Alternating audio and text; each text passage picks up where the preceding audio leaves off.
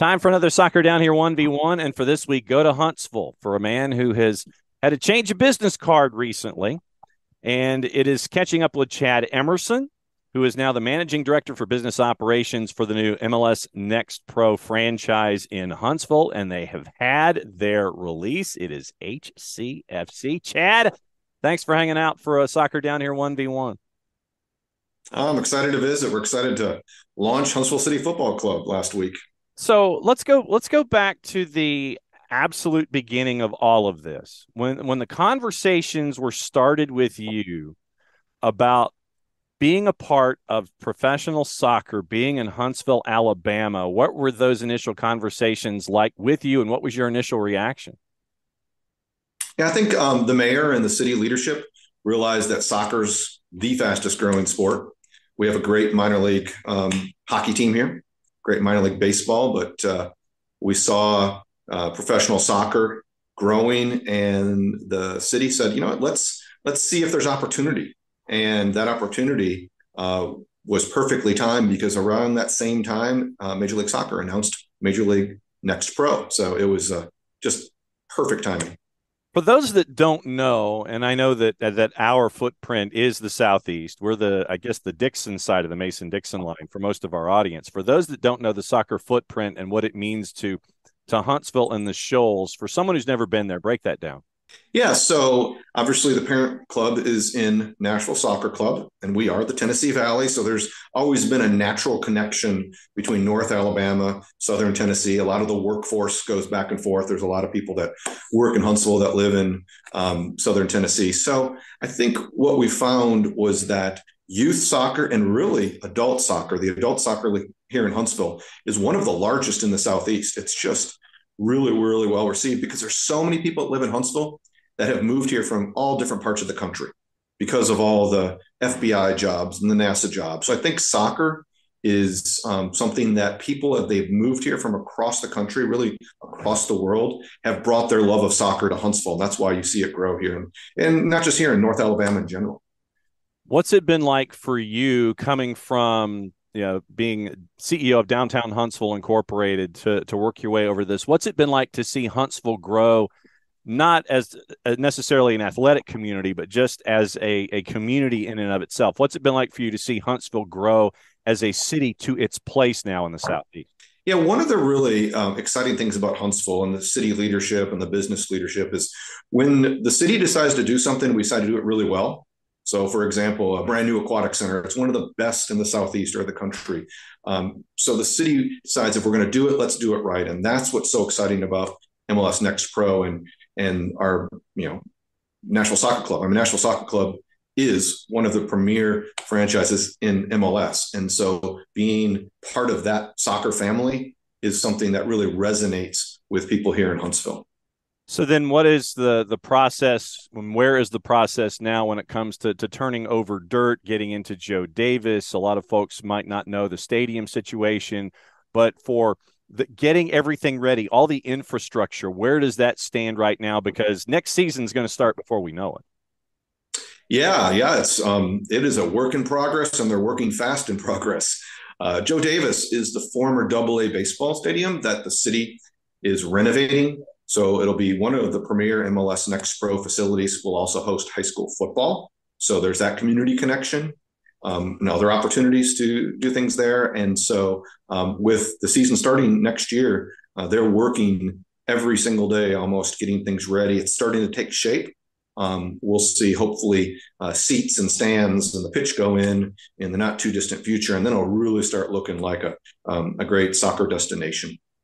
I know that we all have our to do lists, and they could be in a bunch of different places. I will readily admit that I have four separate calendars that I reference when it comes to my day to day, just because of where I could be. You know, if I'm here in in my office, I've got one or two calendars. I've got the big desk calendar that we used to have, you know, that had all the dates on it and everything. I've got the one at the fridge.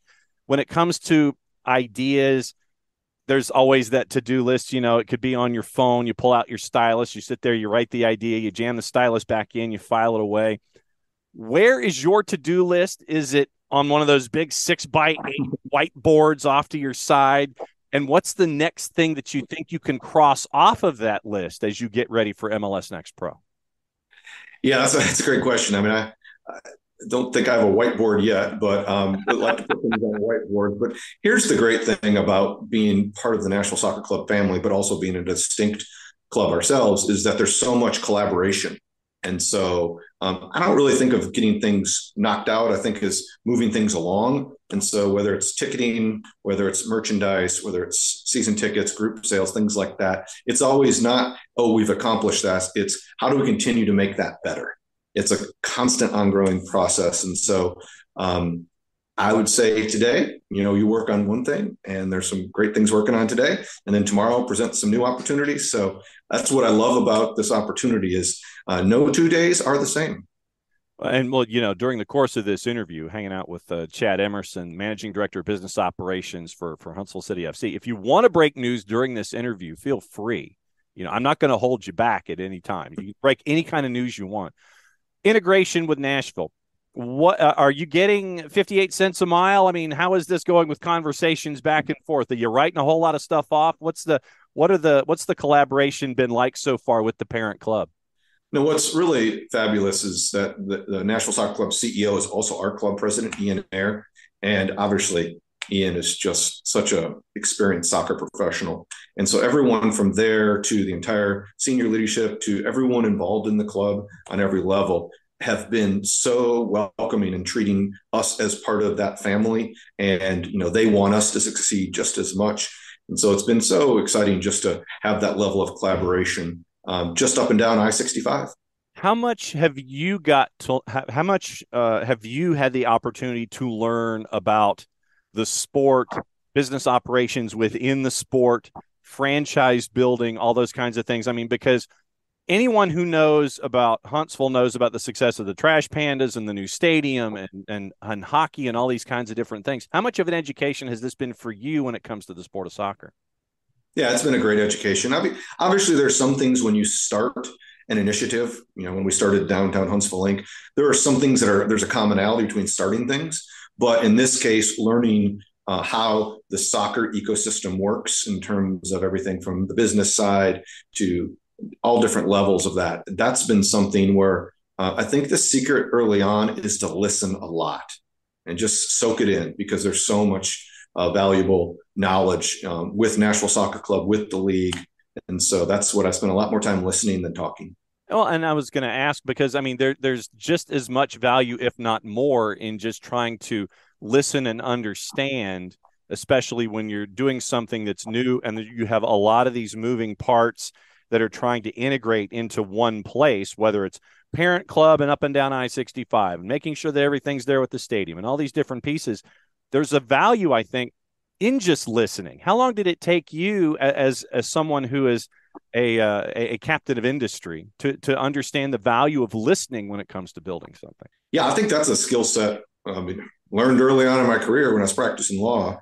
Um, a lot of times you're sitting there in a deposition and you want to listen to what the other side is saying or listen to what the judge says. And so the, all the way back to that life experience, and that was a great life experience through um, other career changes is I think you can you, when you listen first, uh, you learn the most. It's kind of a little, it's a little bit of cliche, but it's an adage I use. So in this case, just listening, and not just on the soccer side, listening to the Huntsville community, hearing uh, what people want. Even since the announcement, we've had so many people say, "Hey, where can I buy merchandise?" or "I want to buy tickets here." Or, what what what tickets in the part of this stadium do you think would meet this need if I have? And so, um, listening to our community and how they want to embrace this, and they've embraced it in a big way so far let's talk about that big rollout that you had. What was it like when you're making the announcement, the night of the announcement, and you see the line of folks who are ready to come into the building? What was how surreal an experience was that for you to see?